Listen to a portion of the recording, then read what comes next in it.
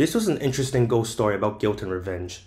Blending theatrical play with cinema, the film hypnotized me with arresting visuals and gorgeous sceneries. Two women get raped and killed by samurais. Soon, they return as vengeful spirits to kill any passing samurais. I enjoy this film. From a technical standpoint, this film is a 10 out of 10. The unique visual aesthetics and stunning cinematography was enough to lure you into the film, paired with a very experimental score beyond its time, and quick cuts and overlapping shots. It makes for a very captivating ride. The theatrical like scenes were exceptionally done, with beautiful lighting and thick misty smoke to help amplify the atmosphere and make everything more dreamy. Although every shot was breathtaking, the first half felt a little repetitive.